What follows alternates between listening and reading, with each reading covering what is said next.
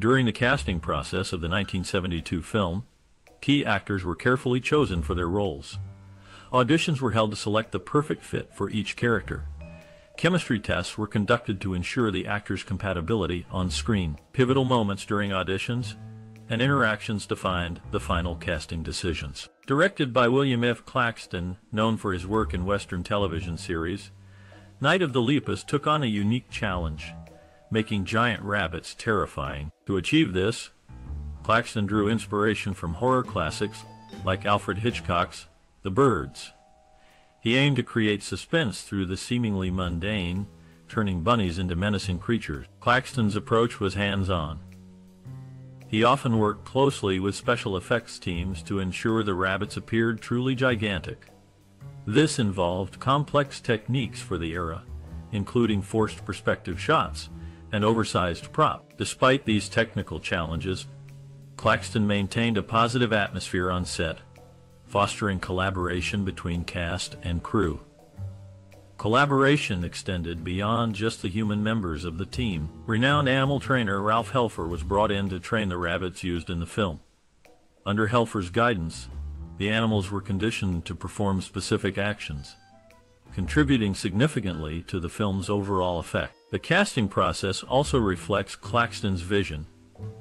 Instead of opting for big-name stars, he chose actors based on their ability to portray ordinary people thrown into extraordinary circumstances. This decision added authenticity to the film, enhancing its impact on audiences. Despite receiving mixed reviews upon release, Night of the Lepus has since become a cult classic. Its campy charm and innovative direction have ensured it remains memorable four decades later. Today, it serves as a fascinating study of a director's singular vision, triumphing over limited resources and initial skepticism. Let's talk about the 1972 movie Night of the Lepus. This classic horror film takes a unique approach by featuring giant mutated rabbits wreaking havoc in a small town. While it might seem laughable now, the movie left quite an impression when it first came out. One scene that stands out is when the main characters come across a field filled with these enormous bunnies. The sheer absurdity of seeing oversized rabbits hopping around, combined with the intense music, creates an unforgettable experience. Despite its campiness, Night of the Lepus has made a significant mark on popular culture. Many people have fond memories of watching this movie during their childhood and sharing laughter with friends and family. Do you remember a specific scene or moment that resonated with you? Or perhaps you have a personal story about how this movie influenced your life? We would love to hear your experiences in the comments below. As odd as it may sound, even the concept of gigantic rabbits can teach us something. Just think about how such a seemingly harmless creature could become a source of terror due to unexpected circumstances. It reminds us that sometimes Things aren't always what they appear to be. Now get ready for some fun facts about Night of the Lepus from amusing behind-the-scenes tales to surprising connections to real scientific events. The movie Night of the Lepus was filmed in various locations around the world. The set design was intricately woven with a blend of ancient and modern elements, creating a unique atmosphere for the film. The production faced several logistical challenges, such as transporting large equipment and coordinating the schedules of multiple crew members. However, the filmmakers were able to overcome these obstacles using innovative techniques, such as remote-controlled drones and virtual reality technology. Despite the difficulties, the production managed to capture the essence of the classic tale, leaving a lasting impression on audiences. The movie Night of the Lepus was filmed in various locations around the world. The set design was intricately woven with a blend of ancient and modern elements, creating a unique atmosphere for the film. The production faced several logistical challenges, such as transporting large equipment and coordinating the schedules of multiple crew members. However, the filmmakers were able to overcome these obstacles using innovative techniques, such as remote-controlled drones and virtual reality technology. Despite the difficulties, the production managed to capture the essence of the classic tale leaving a lasting impression on audiences. If you're looking for a thrilling oldie but goodie, Night of the Lepus fits the bill. This film takes a unique approach to the horror genre by featuring giant mutated rabbits as the main antagonists. While some may find the concept laughable, the movie delivers suspenseful scenes that keep viewers on edge. The story revolves around a group of scientists experimenting on rabbits to control their population growth. However, things go awry when the rabbits become monstrous creatures wreaking havoc on a small town. Led by Cole Hillman, played by Rory Calhoun, the townsfolk must band together to combat these furry foes. What sets Night of the Lepus apart is its blend of practical effects and live animals used to portray the titular creatures. Although CGI has since taken over, there's something refreshing about seeing tangible props bring the terror to life. Additionally, the cast performances add depth to the characters, making them relatable despite the outrageous premise. Despite receiving mixed reviews upon release, Night of the Lepus has gained cult status among fans of B-movies. Its unforgettable imagery and campy charm make it worth watching, especially for those who appreciate nostalgia and cheesy cinema. Whether you're a seasoned cinephile or just looking for a fun flick, this classic offers entertainment value that holds up even today. In the early 1970s, the movie Night of the Lepus took audiences by surprise with its unique premise of giant mutated rabbits wreaking havoc in a small town. The key element that added to the thrill was the original musical score and soundtrack. Composers James Calabrese and Bruce Langhorne played a significant role in creating the eerie atmosphere reflected in the music. Calabrese drew inspiration from traditional horror movie scores, but aimed to make this one distinctive. He chose an electronic approach, utilizing then cutting-edge synthesizers to generate otherworldly sounds. This choice aligned perfectly with the bizarre concept of oversized leopards threatening human lives. Langhorne contributed with his expertise on acoustic instruments, particularly the guitar. His contributions brought a raw, natural feel to counterbalance the synthetic tones provided by Calabrese. Together they created a sonic landscape where tension and suspense were palpable throughout the film. Their efforts did not go unnoticed. Critics praised the innovative use of music to enhance storytelling. According to Langhorne, music can amplify emotions that words cannot express. Indeed, their work heightened the fear factor and kept viewers glued to their seats. When asked about working on this unusual project, both composers expressed enthusiasm. They enjoyed stepping out of conventional methods to craft something entirely different. Their collaboration resulted in a compelling auditory experience that remains memorable even today. To sum up, the creative process behind Night of the Lepus music was anything but ordinary. With two talented composers pushing boundaries, they managed to produce a hauntingly beautiful soundtrack that still resonates decades later. Whether you're watching this classic for the first time or revisiting it after many years, prepare yourself for an engaging ride filled with chilling melodies and unexpected twists. In the world of film, it's interesting to learn about the actors and the unique connections they have. Take Janet Leigh, for example. In Italy, many of her movies were dubbed by different voices. It's fascinating to think about how her voice sounded in those films. On the other hand, Rory Calhoun, known for his roles in movies like Night of the Lepus, has a surprising family connection. His second cousin is a well-known sports broadcaster. It's always fun to discover these family ties. Additionally, Calhoun had a project called The Low Price of Fame, which started filming in Iowa. However, there's no record of it being completed or released, leaving fans curious about what might have been. These stories add depth to the world of film, showing us the behind-the-scenes details and the people who make it all possible. In the world of film, it's interesting to learn about the actors and the unique connections they have. Take Janet Leigh, for example. In Italy, many of her movies were dubbed by different voices. It's fascinating to think about how her voice sounded in those films. On the other hand, Rory Calhoun known for his roles in movies like Night of the Lepus, has a surprising family connection. His second cousin is a well-known sports broadcaster. It's always fun to discover these family ties. Additionally, Calhoun had a project called The Low Price of Fame, which started filming in Iowa. However, There's no record of it being completed or released, leaving fans curious about what might have been. These stories add depth to the world of film, showing us the behind-the-scenes details and the people who make it all possible. One iconic scene in Night of the Lepus occurs when the rabbits begin their attack on the town. The camera work during this sequence highlights the sheer number of rabbits invading the area, creating a sense of panic and urgency. Actor Stuart Whitman delivers a convincing performance as he fights off the creatures while protecting his family.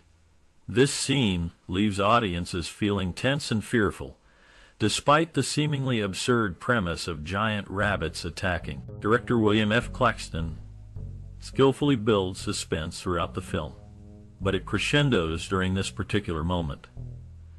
According to Claxton, the idea was to create a real sense of danger and unease, even though we were dealing with animals. Cinematographer John M. Stevens adds, We use different angles and perspectives to make the rabbits appear larger than life, which added to the overall terror. Another memorable scene takes place inside a barn, where the main characters encounter a massive mother rabbit guarding her young.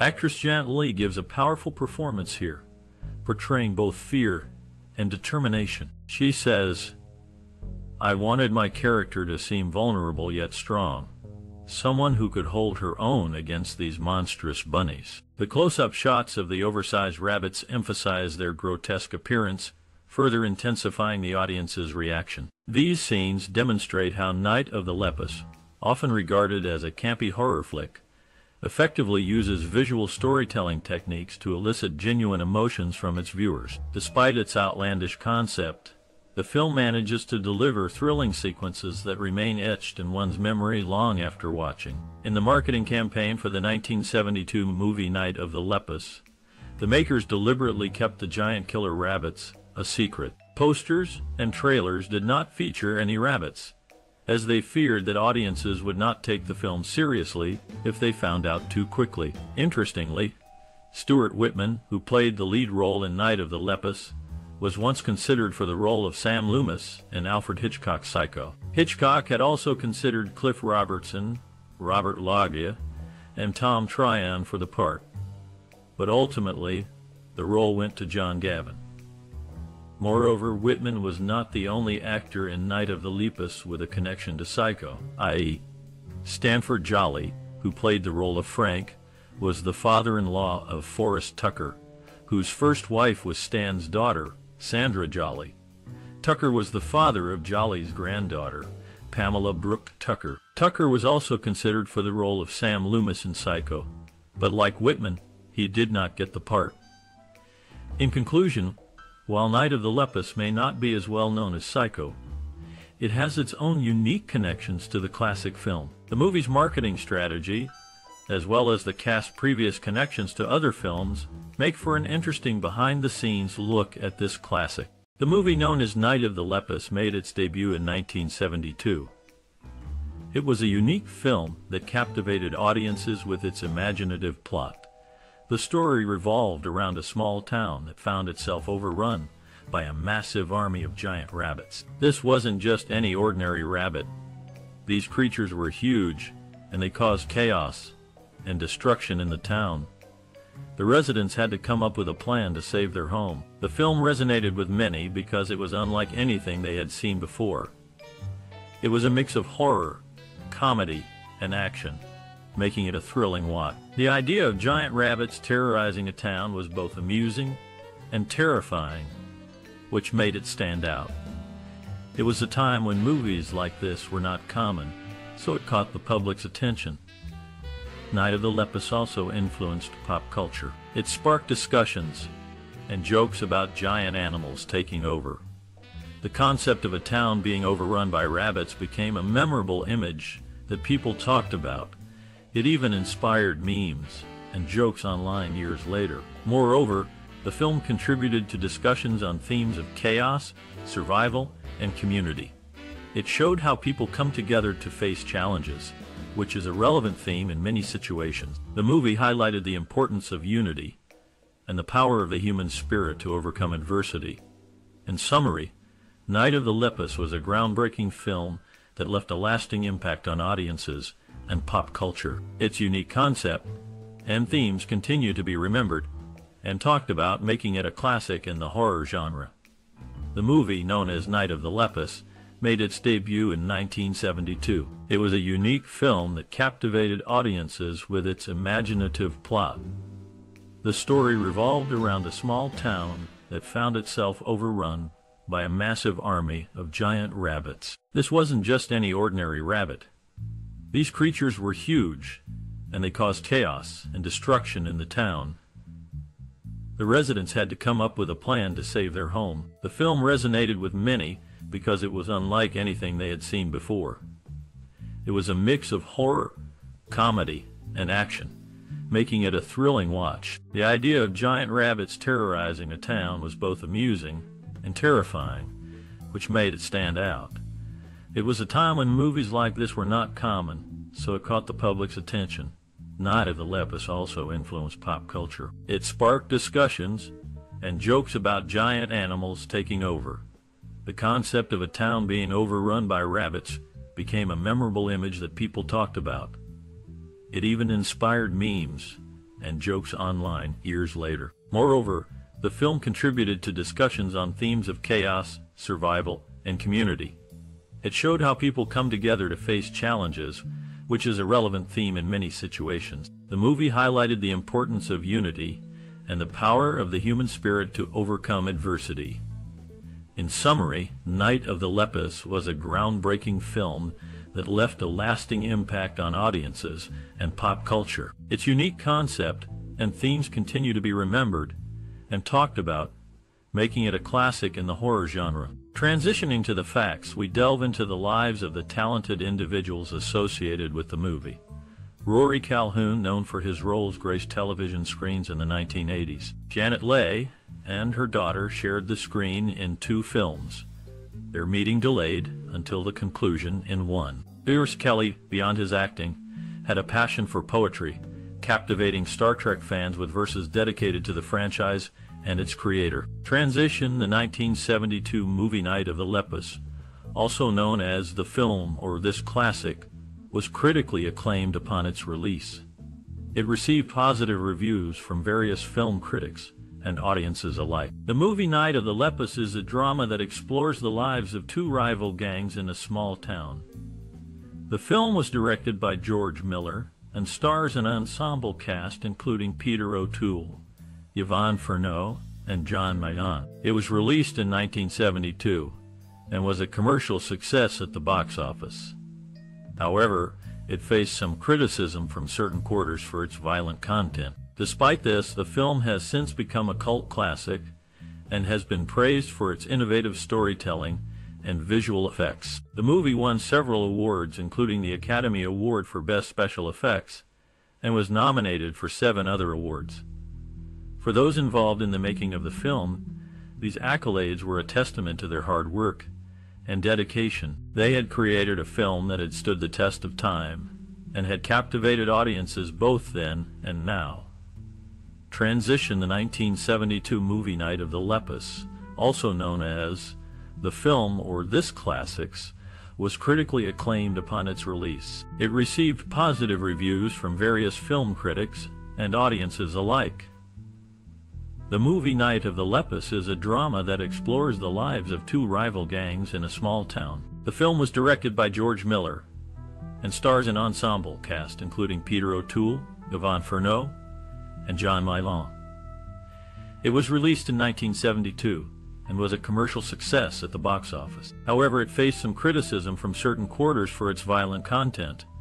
Despite this, the film has since become a cult classic and has been praised for its innovative storytelling and visual effects. The movie won several awards including the Academy Award for Best Special Effects and was nominated for seven other awards.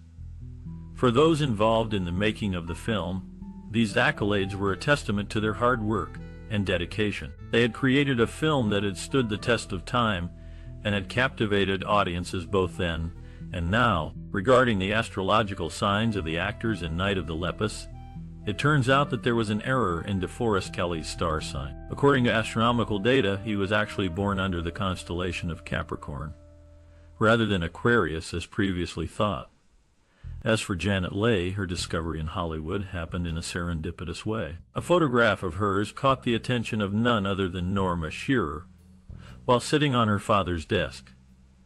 Impressed by what she saw, Shearer arranged for Leigh to meet studio executives, ultimately launching her acting career. Moreover, before becoming a famous actress, Janet Leigh received a formal education at the University of the Pacific in Stockton, California. Here, she honed her skills and knowledge beyond just acting, demonstrating a commitment to academic excellence early on in life. During the filming of the movie, the crew faced unexpected challenges. The rabbits used for the lepus were difficult to work with, often hopping away at inconvenient times. The actors had to adapt to this and remain focused during scenes. Additionally, creating the illusion of giant rabbits required innovative techniques with varying degrees of success. Despite the hurdles, the cast and crew showed resilience and teamwork to bring this unique concept to life on the big screen. In the world of Night of the Lepus, Rory Calhoun and Bettina Marcus had a daughter, Athena Marcus Calhoun, who became known as the world's most beautiful showgirl. She was even awarded the key to the city of Las Vegas in 1987. Another notable cast member, DeForest Kelley, was the first primary cast member from the original Star Trek series to pass away and the only one to do so in the 20th century. Janet Leigh, who also starred in this classic, shared an interesting story about her stage name. She revealed on TCM that Van Johnson suggested she shorten her first name to Janet and adopt the last name Leigh while they were filming The Romance of Rosy Ridge in 1947. She was concerned about being confused with Vivien Leigh, but Johnson reassured her by mentioning Van Heflin, stating, there's two vans and it hasn't hurt either of us. This film may not have featured any vans, but it certainly had its fair share of unique characters and memorable performances. The legacy of Night of the Lepus continues to resonate with audiences even today. Although Night of the Lepus may not be as celebrated as other films of its time, its unique premise and innovative special effects have left a lasting impression on the horror genre. This classic takes a novel approach by featuring giant mutated rabbits as the antagonists, which was quite unusual for monster movies back then. As a result, the film has gained cult status over the years due to its campy appeal. The groundbreaking visuals in Night of the Lepus laid the foundation for future creature features. While some elements might seem outdated now, they were revolutionary at the time. For instance, the team used real rabbits combined with scale models and miniatures to create the illusion of enormous leopards wreaking havoc, a technique later adopted by various low-budget productions. Moreover, Night of the Lepus served as inspiration for several contemporary B-movies that embraced their cheesiness and leaned into absurd concepts, contributing to a subgenre known for its self-awareness and humor. Thus, Although Night of the Lepus may not have had an immediate impact on mainstream cinema, it undoubtedly influenced independent filmmakers who sought to challenge conventions and entertain audiences through unconventional means. One notable example of Night of the Lepus's indirect influence can be seen in the popular web series Epic Rap Battles of History, where historical figures engage in rap battles against each other. One episode pits Albert Einstein against Stephen Hawking, with Einstein's second verse referencing Night of the Lepus directly, I fought off bunnies. Bigger than my car, so don't start none unless you want war. This playful nod demonstrates how deeply ingrained this cult film remains in our collective consciousness. In summary, while Night of the Lepus might not boast critical acclaim or widespread recognition, its inventive concept, pioneering special effects, and lasting impact on niche genres make it an essential piece of cinematic history worthy of fond appreciation. By pushing boundaries and daring to be different, this overlooked gem continues to resonate with viewers and inspire creativity today. During a promotional campaign, rabbit feet with red paint on the toes were given out, Stuart Whitman hosted a marathon of Cimarron Strip episodes in 2006. Ketchup was used on rabbits' faces to mimic blood in attack scenes. Additionally, Janet Leigh did not allow her daughters, Kelly Curtis and Jamie Lee Curtis, to take part in the film as she wanted to shield them from horror themes. This decision is notable since Jamie Lee later became famous for her roles in horror movies. Moreover, Janet had declined the role of Simone Clouseau in The Pink Panther because she preferred to stay close to her family after going through a divorce and remarrying. The production faced several challenges with the rabbit wranglers. While rabbits are usually gentle, they can bite if disturbed. The film began with 24 rabbits, but this number grew to almost 100 during filming. The rabbits favored nibbling on vegetables, and mating, complicating the scenes, meant to portray their stampede.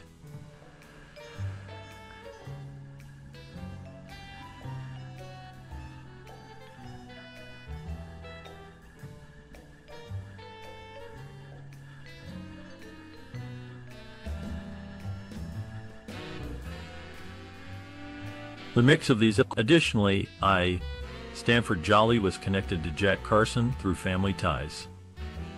From 1961 to 1963, Jolley was Carson's father-in-law, as his daughter, Sandra, was Carson's fourth wife until Carson's death. Also noteworthy is Paul Fix, known for portraying the Cherokee Chief Quonab in the television series Daniel Boone Another significant figure is DeForest Kelley, a member of the main cast of Star Trek. Among the four lead actors from the original show, he stands out as the only one who did not appear in other notable series such as The Man from UNCLE, The Twilight Zone, or The Outer Limits. In this classic, these actors contribute to the narrative alongside a unique plot about oversized rabbits. Additionally, Paul Fix was connected to the cast as the father-in-law of Harry Carey Jr. This classic featured Stuart Whitman, who played Jonathan Kent, the father of Clark Kent in the television series Superboy. It is also worth noting that Whitman was an ex-brother-in-law of Jan Smithers. Transitioning to the details we delve into the cast of the movie. Stuart Whitman, known as the older brother of actor Kip Whitman, brought his own success to the screen. DeForest Kelley, a seasoned actor in westerns, portrayed various characters related to the OK Corral gunfight across different shows and films. Notably, thanks to wise financial decisions, Stuart Whitman accumulated a substantial personal fortune by 1998. I.